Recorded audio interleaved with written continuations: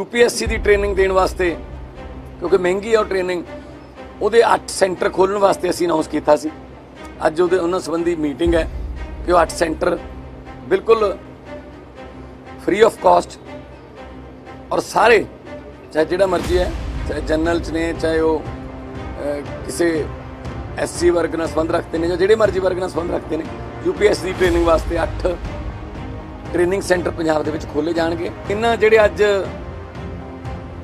Principal ਜਾ ਰਹੇ ਨੇ। 92 ਤਾਂ 93% ਇਹੋ ਜਿਹੇ ਨੇ ਜਿਹੜੇ ਪਹਿਲੀ ਵਾਰ ਵਿਦੇਸ਼ ਜਾ ਰਹੇ ਨੇ। ਬਲਕਿ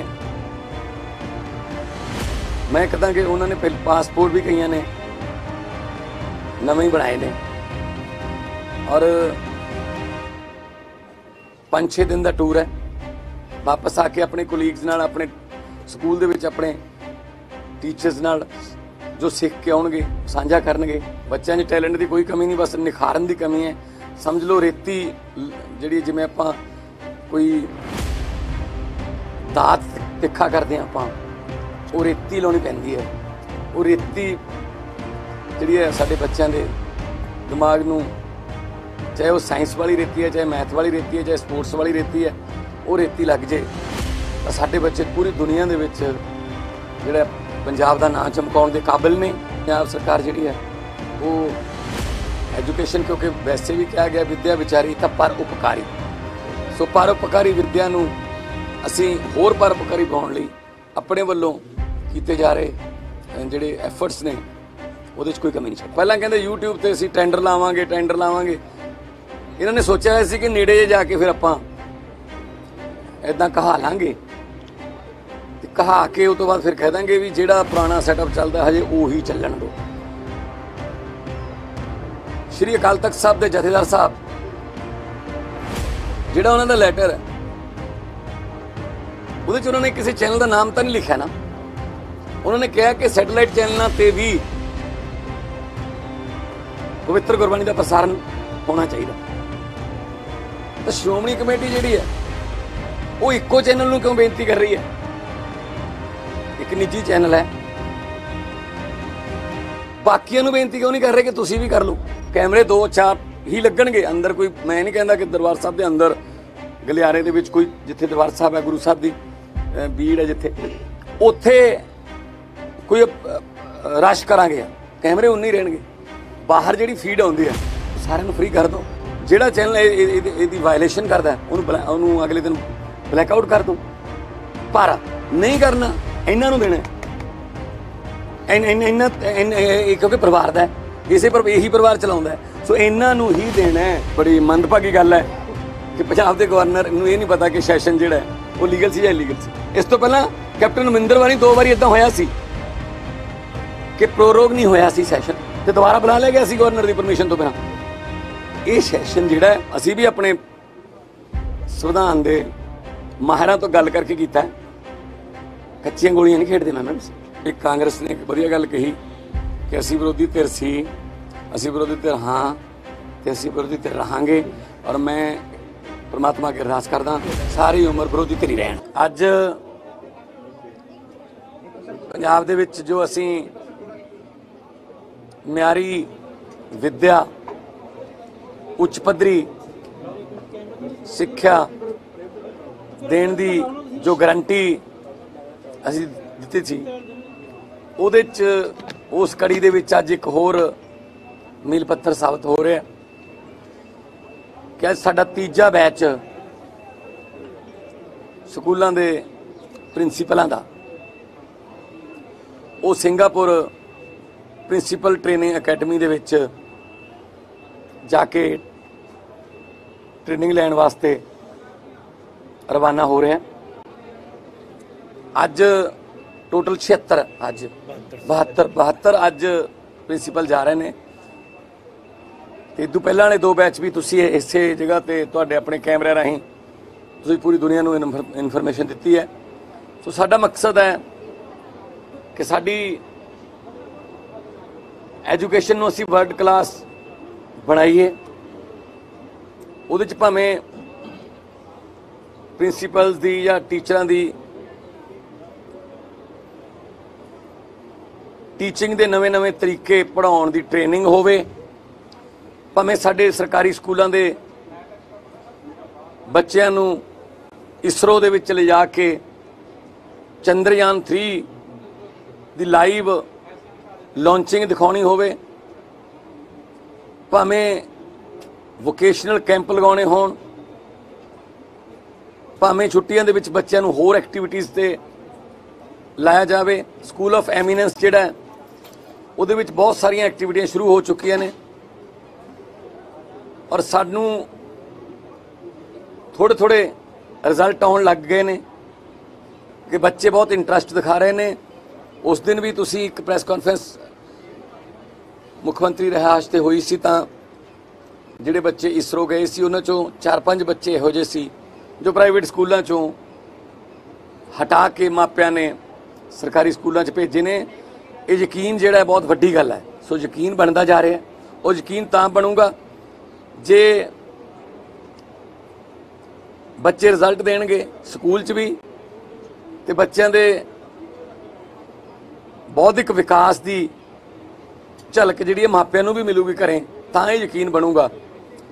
ਪੇਰੈਂਟ ਟੀਚਰ ਮੀਟਿੰਗ ਸ਼ੁਰੂ ਹੋਈਆਂ ਨੇ ਪਹਿਲੀ ਵਾਰ, ਤਾਂ ਕਿ ਟੀਚਰਾਂ ਨੂੰ ਇਹ ਪਤਾ ਲੱਗ ਸਕੇ ਕਿ ਬੱਚਾ ਸਕੂਲ ਤੋਂ ਬਾਹਰ ਜਾ ਕੇ ਛੁੱਟੀ ਤੋਂ ਬਾਅਦ ਕਿਹੜੀਆਂ ਐਕਟੀਵਿਟੀਜ਼ ਕਰਦਾ ਹੈ, ਕਿਹੜੀ ਕਿੱਥੇ ਰਹਿੰਦਾ ਹੈ ਤੇ ਟੀਚਰ ਅਧਿਆਪਕਾਂ ਨੂੰ ਇਹ ਪਤਾ ਲੱਗ ਸਕੇ ਕਿ ਬੱਚਾ ਜਿਹੜਾ ਹੈ, ਉਹ ਜਦੋਂ ਸਾਡੇ ਕੋਲੇ ਆਉਂਦਾ ਹੈ ਵਾਪਸ, ਤਾਂ ਉਹ ਸਾਡਾ ਜਿਹੜਾ ਪੜਾਇਆ ਹੋਇਆ ਲੈਸਨ ਹੈ ਕਿ ਉਹਦੇ ਮਾਈਂਡ 'ਚ ਉਸ ਵੇਲੇ ਤੱਕ ਰਹਿੰਦਾ ਹੈ ਜਾਂ ਉਹ ਕਿਸੇ ਗਲਤ ਸੰਗਤ ਦਾ ਸ਼ਿਕਾਰ ਨਾ ਹੁੰਦਾ ਹੋਵੇ। ਦੂਜੇ ਪਾਸੇ ਮਾਪਿਆਂ ਨੂੰ ਵੀ ਪਤਾ ਹੋਣਾ ਚਾਹੀਦਾ ਕਿ ਸਾਡਾ ਬੱਚਾ ਸਕੂਲ 'ਚ ਕੀ ਕਰ ਰਿਹਾ ਹੈ, ਕਿਹੜੀ ਕਲਾ, ਕਿਹੜੇ ਸਬਜੈਕਟ 'ਚੋਂ ਕਮਜ਼ੋਰ ਹੈ, ਕਿਹੜੇ ਸਬਜੈਕਟ ਤੇ ਧਿਆਨ ਦੇਣ ਦੀ ਲੋੜ ਹੈ। ਸੋ ਪੇਰੈਂਟ ਟੀਚਰ ਮੀਟਿੰਗ ਜਿਹੜੀਆਂ, ਉਹ ਸਫਲਤਾਪੂਰਵਕ ਚੱਲ ਰਹੀਆਂ ਨੇ। ਇਹਨਾਂ ਜਿਹੜੇ ਅੱਜ ਪ੍ਰਿੰਸੀਪਲ ਜਾ ਰਹੇ ਨੇ 92 ਤਾਂ 93% ਇਹੋ ਜਿਹੇ ਨੇ ਜਿਹੜੇ ਪਹਿਲੀ ਵਾਰ ਵਿਦੇਸ਼ ਜਾ ਰਹੇ ਨੇ। ਬਲਕਿ ਮੈਂ ਕਹਦਾ ਕਿ ਉਹਨਾਂ ਨੇ ਪਹਿਲ ਪਾਸਪੋਰਟ ਵੀ ਕਈਆਂ ਨੇ। ਨਵੇਂ ਹੀ ਬਣਾਏ ਨੇ। ਔਰ 5-6 ਦਿਨ ਦਾ ਟੂਰ ਹੈ।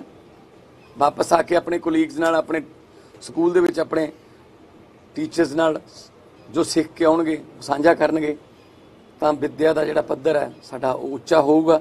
ਸਾਡੇ ਬੱਚੇ ਜਿਹੜੇ ਨੇ, ਬੱਚਿਆਂ 'ਚ ਟੈਲੈਂਟ ਦੀ ਕੋਈ ਕਮੀ ਨਹੀਂ, ਬਸ ਨਿਖਾਰਨ ਦੀ ਕਮੀ ਹੈ। ਸਮਝ ਲਓ ਰੇਤੀ ਜਿਹੜੀ ਜਿਵੇਂ ਆਪਾਂ ਕੋਈ ਦਾਤ ਤਿੱਖਾ ਕਰਦੇ ਹਾਂ ਆਪਾਂ, ਉਹ ਰੇਤੀ ਲਾਉਣੀ ਪੈਂਦੀ ਹੈ। ਉਹ ਰੇਤੀ ਜਿਹੜੀ ਹੈ ਸਾਡੇ ਬੱਚਿਆਂ ਦੇ ਦਿਮਾਗ ਨੂੰ, ਚਾਹੇ ਉਹ ਸਾਇੰਸ ਵਾਲੀ ਰੇਤੀ ਹੈ, ਚਾਹੇ ਮੈਥ ਵਾਲੀ ਰੇਤੀ ਹੈ, ਚਾਹੇ ਸਪੋਰਟਸ ਵਾਲੀ ਰੇਤੀ ਹੈ, ਉਹ ਰੇਤੀ ਲੱਗ ਜੇ, ਤਾਂ ਸਾਡੇ ਬੱਚੇ ਪੂਰੀ ਦੁਨੀਆ ਦੇ ਵਿੱਚ ਜਿਹੜਾ ਪੰਜਾਬ ਦਾ ਨਾਂ ਚਮਕਾਉਣ ਦੇ ਕਾਬਿਲ ਨੇ, ਚਮਕਾ ਵੀ ਰਹੇ ਨੇ। ਆਪਾਂ ਦੇਖਦੇ ਹਾਂ ਕਈ ਤਾਂ ਸਪੋਰਟਸ ਦੇ ਵਿੱਚ ਇਦਾਂ ਦੀਆਂ ਅਚੀਵਮੈਂਟਸ ਹੁੰਦੀਆਂ ਨੇ ਕਿ ਉਹਨਾਂ ਕੋਲ ਸ਼ੂ ਨਹੀਂ ਹੁੰਦੇ। ਕਿ ਆਪਣੇ ਬੂਟ ਨਹੀਂ ਸੀ ਜੀ, ਫਿਰ ਵੀ ਕਿਸੇ ਸੂਏ ਦੇ ਜਾਂ ਕਿਸੇ ਨਦੀ ਦੇ ਜਾਂ ਕਿਸੇ ਨਹਿਰ ਦੇ ਕਿਨਾਰੇ ਭੱਜ ਭੱਜ ਕੇ ਉਹਨੇ ਪ੍ਰੈਕਟਿਸ ਕੀਤੀ ਤੇ ਉਹ 골ਡ ਮੈਡਲ ਜਿੱਤਿਆ ਕਿਸੇ ਚੈਂਪੀਅਨਸ਼ਿਪ 'ਚੋਂ। ਸੋ ਅਸੀਂ ਹਰ ਫੀਲਡ ਦੇ ਵਿੱਚ ਯੂਥ ਨੂੰ ਜਿਹੜਾ ਇਨਕਰੇਜ ਕਰ ਰਹੇ ਹਾਂ। ਉਹਨੂੰ ਪ੍ਰੇਰਣਾ ਦੇ ਰਹੇ ਹਾਂ ਕਿ ਜਿਹੜਾ ਤੁਹਾਡਾ ਫੀਲਡ ਹੈ, ਜਿਹੜਾ ਵੀ ਤੁਹਾਨੂੰ ਮਨਪਸੰਦ ਤੁਹਾਡਾ ਵਿਸ਼ਾ ਹੈ, ਤੁਸੀਂ ਉਹਨੂੰ ਚੁਣੋ ਤੇ ਉਸ ਵਿਸ਼ੇ ਨੂੰ ਪੜਾਉਣ ਵਾਸਤੇ ਵਧੀਆ ਤੋਂ ਵਧੀਆ ਕੋਚ ਵਧੀਆ ਤੋਂ ਵਧੀਆ ਟੀਚਰ ਦੇਣਾ ਸਾਡਾ ਕੰਮ ਹੈ। ਅੱਜ ਇੱਕ ਮੀਟਿੰਗ ਹੈ, ਇਸ ਤੋਂ ਬਾਅਦ ਜਾ ਕੇ ਉਹਦੇ ਵਿੱਚ ਉਹ ਵੀ ਕਿਉਂਕਿ ਐਜੂਕੇਸ਼ਨ ਨਾਲ ਸੰਬੰਧਿਤ ਹੈ, ਇਸ ਕਰਕੇ ਮੈਂ ਤੁਹਾਨੂੰ ਦੱਸ ਰਿਹਾ। ਜਿਹੜੇ ਅਸੀਂ ਅਨਾਉਂਸ ਕੀਤਾ ਕਿ ਯੂਪੀਐਸਸੀ ਦੀ ਟ੍ਰੇਨਿੰਗ ਅਸੀਂ ਬੱਚਿਆਂ ਨੂੰ ਦੇਣੀ ਆ। ਕਿਉਂਕਿ ਜ਼ਿਆਦਾਤਰ ਐਨਾਲਿਸਿਸ ਕੀਤਾ ਗਿਆ, ਸਾਡੇ ਬੱਚੇ ਪਲੱਸ 2 ਕਰਨ ਤੋਂ ਬਾਅਦ ਆਈਲੈਟਸ ਕਰਕੇ ਬਾਹਰ ਜਾਣ ਨੂੰ ਪ੍ਰੈਫਰ ਕਰਦੇ ਇੰਜੀਨੀਅਰਿੰਗ ਕਾਲਜ ਜਾਂ ਟੈਕਨੀਕਲ ਕਾਲਜਾਂ ਦੀ ਜਿਹੜੀ ਐਡਮਿਸ਼ਨ ਹੈ, ਉਹ ਬਹੁਤ ਘਟ ਗਈ ਹੈ। ਸੋ ਯੂਪੀਐਸਸੀ ਦੀ ਟ੍ਰੇਨਿੰਗ ਦੇਣ ਵਾਸਤੇ, ਕਿਉਂਕਿ ਮਹਿੰਗੀ ਹੈ ਉਹ ਟ੍ਰੇਨਿੰਗ, ਉਹਦੇ 8 ਸੈਂਟਰ ਖੋਲਣ ਵਾਸਤੇ ਅਸੀਂ ਅਨਾਉਂਸ ਕੀਤਾ ਸੀ। ਅੱਜ ਉਹਦੇ ਉਹਨਾਂ ਸੰਬੰਧੀ ਮੀਟਿੰਗ ਹੈ ਕਿ ਉਹ 8 ਸੈਂਟਰ ਬਿਲਕੁਲ ਫ੍ਰੀ ਆਫ ਕਾਸਟ ਔਰ ਸਾਰੇ, ਚਾਹੇ ਜਿਹੜਾ ਮਰਜ਼ੀ ਹੈ ਚਾਹੇ ਜਨਰਲ ਚ ਨੇ ਚਾਹੇ ਉਹ ਅਹ, ਕਿਸੇ ਐਸਸੀ ਵਰਗ ਨਾਲ ਸੰਬੰਧ ਰੱਖਦੇ ਨੇ ਜਾਂ ਜਿਹੜੇ ਮਰਜ਼ੀ ਵਰਗ ਨਾਲ ਸੰਬੰਧ ਰੱਖਦੇ ਨੇ ਯੂਪੀਐਸਸੀ ਦੀ ਟ੍ਰੇਨਿੰਗ ਵਾਸਤੇ 8 ਟ੍ਰੇਨਿੰਗ ਸੈਂਟਰ ਪੰਜਾਬ ਦੇ ਵਿੱਚ ਖੋਲੇ ਜਾਣਗੇ। ਉੱਥੇ ਲਾਇਬ੍ਰੇਰੀ ਵੀ ਹੋਊਗੀ ਉੱਥੇ ਮਾਹੌਲ ਵੀ ਹੋਊਗਾ ਉੱਥੇ ਜੋ ਲੇਟੈਸਟ ਟੈਕਨੀਕਸ ਹੋਣਗੀਆਂ ਤਾਂ ਕਿ ਸਾਡੇ ਬੱਚੇ ਜਿਹੜੇ ਨੇ ਯੂਪੀਐਸਸੀ ਦੇ ਵਿੱਚ ਆਮ ਤੌਰ ਤੇ ਇੱਕ ਅੱਧਾ ਬੱਚਾ ਇੱਕ ਦੋ ਬੱਚੇ ਪੰਜਾਬ ਦੇ ਹੁੰਦੇ ਆ ਜਿਹੜੇ ਰੈਂਕ ਰੈਂਕ ਲੈ ਲੈਂਦੇ ਆ ਆਪਣੀ ਮਿਹਨਤ ਨਾਲ। ਉਹ ਵੀ ਨਾਲ ਹੋਣ ਤੇ ਪ- ਜਿਹੜੇ ਬੱਚੇ ਪੁਰਾਣੇ ਕੋਚਸ ਨੇ ਜਿੱਥੇ ਪਟਿਆਲੇ ਜਿਵੇਂ ਅਕੈਡਮੀ ਬਣੀ ਹੋਈ ਹੈ ਇੱਕ, ਪੁਰਾਣੇ ਕੋਚਸ ਉਹਨਾਂ ਦਾ ਵੀ ਐਕਸਪੀਰੀਅੰਸ ਲਵਾਂਗੇ ਤਾਂ ਕਿ ਸਾਡੇ ਬੱਚੇ ਜਿਹੜੇ ਯੂਪੀਐਸਸੀ ਦੇ ਵਿੱਚ ਰੈਂਕ ਲੈਣ ਤੇ ਵੱਡੇ ਅਫਸਰ ਬਣ। ਸੋ ਅੱਜ ਉਹਦੀ ਵੀ ਮੀਟਿੰਗ ਹੈ।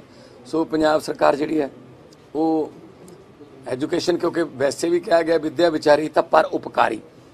ਸੋ ਪਰ ਉਪਕਾਰੀ ਵਿਦਿਆ ਨੂੰ ਅਸੀਂ ਹੋਰ ਪਰ ਉਪਕਾਰੀ ਬਣਾਉਣ ਲਈ ਆਪਣੇ ਵੱਲੋਂ ਕੀਤੇ ਜਾ ਰਹੇ ਅ, ਜਿਹੜੇ ਐਫਰਟਸ ਨੇ ਉਹਦੇ 'ਚ ਕੋਈ ਕਮੀ ਨਹੀਂ ਛੱਡਾਂਗੇ ਸੀਐਮ ਸਾਹਿਬ ਗੁਰਬਾਣੀ ਪ੍ਰਚਾਰਨ ਨੂੰ ਲੈ ਕੇ ਕਾਫੀ ਸਿਆਸਤ ਜਿਹੜੀ ਹੈ ਬਿਆਨਬਾਜ਼ੀ ਦੇਖਣ ਨੂੰ ਮਿਲੀ।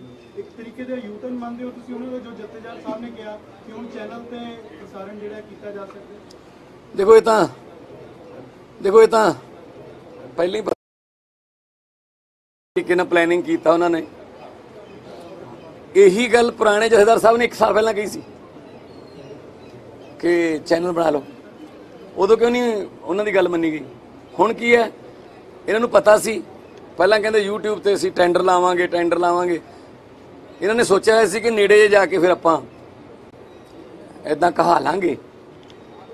ਤੇ ਕਹਾ ਕੇ ਉਸ ਤੋਂ ਬਾਅਦ ਫਿਰ ਕਹਿ ਦਾਂਗੇ ਵੀ ਜਿਹੜਾ ਪੁਰਾਣਾ ਸੈਟਅਪ ਚੱਲਦਾ ਹਜੇ ਉਹੀ ਚੱਲਣ ਦਿਓ। ਸ਼੍ਰੀ ਅਕਾਲ ਤਖਤ ਸਾਹਿਬ ਦੇ ਜਥੇਦਾਰ ਸਾਹਿਬ, ਜਿਹੜਾ ਉਹਨਾਂ ਦਾ ਲੈਟਰ ਹੈ ਉਹਦੇ ਚ ਉਹਨਾਂ ਨੇ ਕਿਸੇ ਚੈਨਲ ਦਾ ਨਾਮ ਤਾਂ ਨਹੀਂ ਲਿਖਿਆ ਨਾ। ਉਹਨਾਂ ਨੇ ਕਿਹਾ ਕਿ ਸੈਟੇਲਾਈਟ ਚੈਨਲਾਂ ਤੇ ਵੀ ਪਵਿੱਤਰ ਗੁਰਬਾਣੀ ਦਾ ਪ੍ਰਸਾਰਣ ਹੋਣਾ ਚਾਹੀਦਾ। ਤਾਂ ਸ਼੍ਰੋਮਣੀ ਕਮੇਟੀ ਜਿਹੜੀ ਹੈ, ਉਹ ਇੱਕੋ ਚੈਨਲ ਨੂੰ ਕਿਉਂ ਬੇਨਤੀ ਕਰ ਰਹੀ ਹੈ?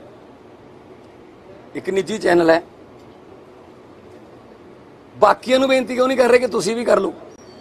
ਆ ਜਿਹੜਾ ਹੁਣ ਇਸ ਵਕਤ ਮੈਂ ਬੋਲ ਰਿਹਾ।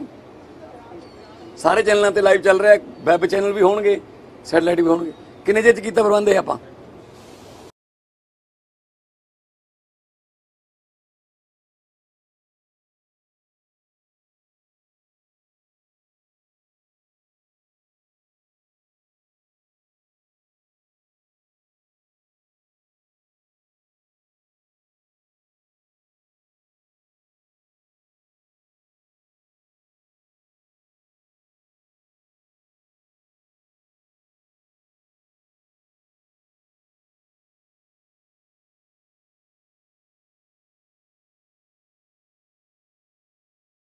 ਉਹਨੂੰ ਇਹ ਵੀ ਨਹੀਂ ਪਤਾ ਫ੍ਰੀ ਆਫ ਕਾਸਟ ਕੀ ਹੁੰਦਾ, ਉਹ ਕਹਿੰਦੇ ਅਸੀਂ ਕਦੀ ਅਸੀਂ ਕਦੋਂ ਪੈਸੇ ਲੈਣੇ ਮੈਂ ਇੱਕ ਮਿੰਟ ਇੱਕ ਮਿੰਟ। ਸਾਡੀ ਤਿਆਰੀ ਇਹ ਹੈ ਫੀਡ ਬਾਹਰ ਦੇ ਦਿਓ, ਕੈਮਰੇ ਦੋ ਚਾਰ ਹੀ ਲੱਗਣਗੇ, ਅੰਦਰ ਕੋਈ, ਮੈਂ ਨਹੀਂ ਕਹਿੰਦਾ ਕਿ ਦਰਬਾਰ ਸਾਹਿਬ ਦੇ ਅੰਦਰ, ਗਲਿਆਰੇ ਦੇ ਵਿੱਚ ਕੋਈ, ਜਿੱਥੇ ਦਰਬਾਰ ਸਾਹਿਬ ਹੈ, ਗੁਰੂ ਸਾਹਿਬ ਦੀ ਬੀੜ ਹੈ ਜਿੱਥੇ, ਉੱਥੇ ਕੋਈ ਰਸ਼ ਕਰਾਂਗੇ ਕੈਮਰੇ ਉਨੇ ਹੀ ਰਹਿਣਗੇ। ਬਾਹਰ ਜਿਹੜੀ ਫੀਡ ਆਉਂਦੀ ਹੈ, ਉਹ ਸਾਰਿਆਂ ਨੂੰ ਫ੍ਰੀ ਕਰ ਦਿਓ, ਸਾਰੇ ਆਪੇ ਆਪਣੀ ਚਲਾ ਦੇਣ। ਮਰਿਆਦਾ ਉਹ ਲਾਗੂ ਕਰ ਦੇਣ ਕਿ ਵਿਚਾਲੇ ਕੋਈ ਐਡ ਨਹੀਂ ਆਊਗੀ। ਈਵਨ ਲਿਖਤੀ ਵੀ ਐਡ ਨਹੀਂ ਆਊਗੀ ਥੱਲੇ, ਪੱਟੀ ਤੇ। ਅੱਧਾ ਘੰਟਾ ਪਹਿਲਾਂ ਐਡ ਨਹੀਂ ਆਊਗੀ, ਅੱਧਾ ਘੰਟਾ ਬਾਅਦ ਚ ਐਡ ਨਹੀਂ ਆਊਗੀ। ਜਿਹੜਾ ਚੈਨਲ ਇਹਦੀ ਵਾਇਲੇਸ਼ਨ ਕਰਦਾ, ਉਹਨੂੰ ਬਲੈ- ਉਹਨੂੰ ਅਗਲੇ ਦਿਨ ਬਲੈਕ ਆਊਟ ਕਰ ਦਿਓ ਪਰ ਨਹੀਂ ਕਰਨਾ, ਇਹਨਾਂ ਨੂੰ ਦੇਣਾ। ਇਹਨਾਂ ਕਿਉਂਕਿ ਪਰਿਵਾਰ ਦਾ ਇਸੇ ਪਰ ਇਹੀ ਪਰਿਵਾਰ ਚਲਾਉਂਦਾ ਸੋ ਇਹਨਾਂ ਨੂੰ ਹੀ ਦੇਣਾ ਹੈ। ਸੀਐਮ ਸਾਹਿਬ, ਸੰਭਵ ਹੈਗਾ ਜੀ 24 ਘੰਟਿਆਂ ਦੇ ਵਿੱਚ ਇੱਕ ਸੈਟੇਲਾਈਟ ਚੈਨਲ ਸਰ 24 ਤਾਂ ਮੈਂ ਜ਼ਿਆਦਾ ਕਹਿਤਾ। 24 ਤਾਂ ਮੈਂ ਜ਼ਿਆਦਾ ਕਹਿਤਾ ਤੁਹਾਡੇ ਵਾਲੇ ਇੱਕ ਘੰਟੇ ਚ ਕਰੀ ਬੈਠੇ ਅਸੀਂ।